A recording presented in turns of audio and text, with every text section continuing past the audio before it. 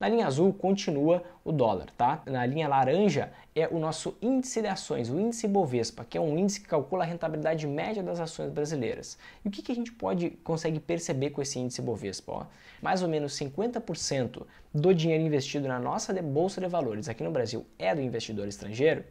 Por causa disso, a gente consegue ver uma clara correlação negativa entre ações e dólar. O que, que isso quer dizer? Ó, quando as ações sobem, o dólar cai.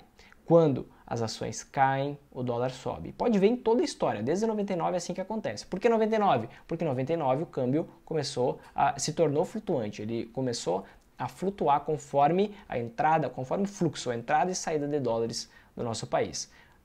Dólar subiu, ações caíram. Ações subiram, dólar caiu. Vamos ver nos próximos momentos da história.